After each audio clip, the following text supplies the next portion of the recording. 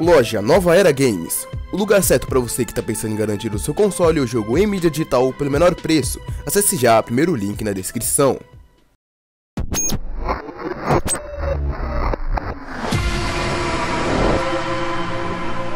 E fale molecadinha, tudo beleza? Aqui é o seu Manuel B. Vamos comigo para mais um vídeo, galera.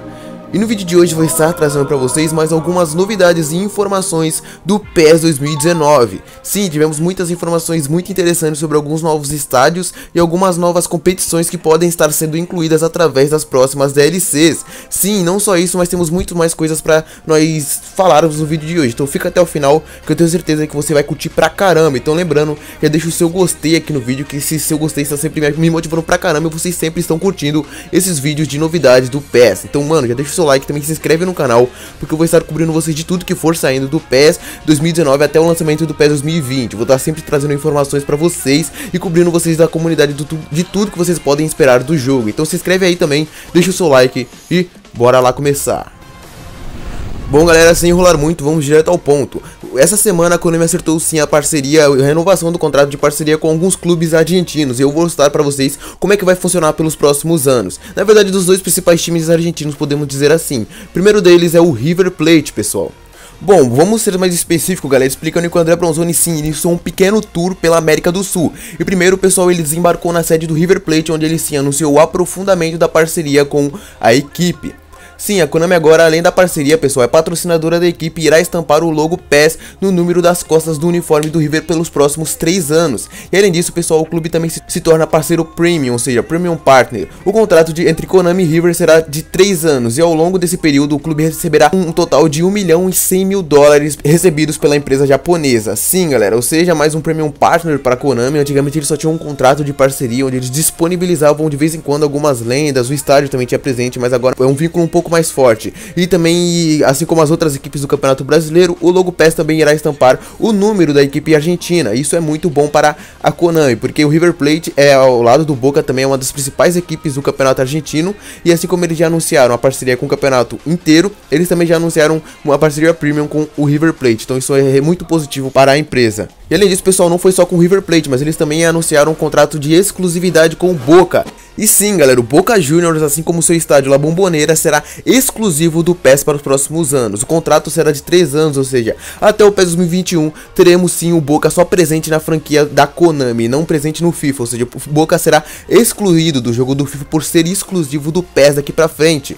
Eu acredito que não será nessa versão do FIFA 19 ainda, porque o FIFA 19 já tem o Boca presente, então a partir do FIFA 20 ele não estará mais presente no jogo e só presente no jogo da Konami, no PES. Isso também é uma coisa muito boa, sempre o contrato de exclusividade são, bo são bons para os jogos, apesar de, para nós fãs, perdemos muito com isso. Bom, é só ver o exemplo da Premier League, que só vemos presente no FIFA, então isso realmente, mano, é muito ruim para os fãs de PES, que gostam de jogar o PES, mas para as empresas em si, isso é uma coisa muito boa, eles lucram bem mais, sem falar que um vínculo maior com alguma entidade, sem dúvida, é muito bom para os dois lados. Bom, galera, continuando a falar um pouquinho sobre o argentino no PES 2019, sobre o campeonato argentino em geral. Depois do lançamento do PES 2019, muita gente meteu sim o pau na Konami por alguns motivos, entre eles a ausência de placares e reais e também da bola do campeonato argentino.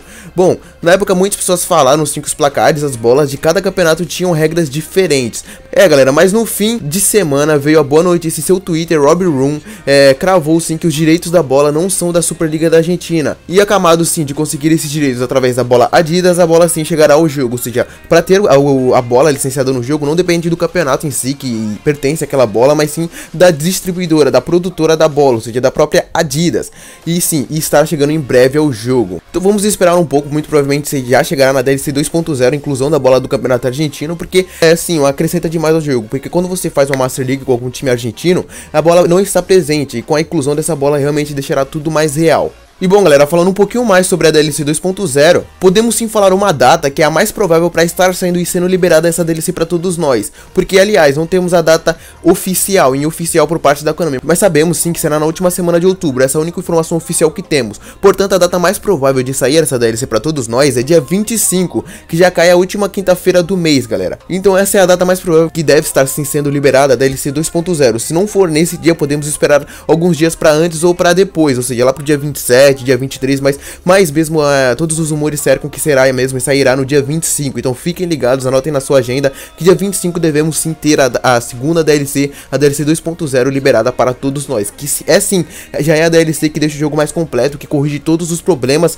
que foram colhidos até agora de feedback da gameplay, da jogabilidade. Então realmente podemos esperar muitas coisas incluídas nessa DLC, sem falar que teremos mais estádios, novas ligas, então realmente deixará o jogo bem mais completo. E também tivemos mais informações que essa DLC 2.0, galera, e já irá sim corrigir a inteligência artificial do PES 2019, que vem sim gerando muitas reclamações dos fãs. Eles já tiver, soltaram-se uma nota oficial onde explicam isso melhor. Bom, galera, fique tranquilo que o PES 2019 vai ficar ainda melhor, pois além das correções, tem muito mais conteúdo chegando, velho. E eles já se pronunciaram que a inteligência artificial, que é uma coisa que vem sendo muito é, criticada nesse PES 2019 por parte da CPU, até dos seus próprios jogadores, irá sim ser bem corrigida e sofrer graves alterações ainda nessa DLC 2.0. Então isso realmente é uma coisa muito positiva. Eles vêm sim ouvindo o feedback dos fãs e da comunidade vai sim incluindo tudo que nós vamos pedir. Então, inteligência artificial, não só inteligência artificial, como diversos outros conteúdos chegarão já com a DLC 2.0. Assim que nós tivermos mais informações oficiais, o que? 5 dias antes ou até uma semana antes do lançamento oficial dessa DLC, eu trarei um vídeo completo para falar só sobre ela. Por isso que é importante você se inscrever no canal também. E bom galera, hoje a Konami fez ajustes oficiais, sim, fez ajustes no treinador de habilidades, porque como já alertamos vocês sempre, tinha, sabíamos sim que tinha algo de errado ali, porque os treinadores de habilidades não estão correspondendo como eles falaram que seria e que funcionaria. Com isso a Konami liberou a todos 10 preparadores de habilidade, ou seja, usem e abusem deles galera, quanto mais vocês uparem os seus jogadores, melhor eles ficarão no MyClub. E eles corrigiram sim todos esses problemas que temos relacionados ao treinador de habilidades no MyClub. Eu recebi também muitas reclamações da comunidade quanto a isso, então fiquem tranquilos tranquilos que a Konami Sim já lançou um update que corrigiu todos esses problemas que tínhamos presentes.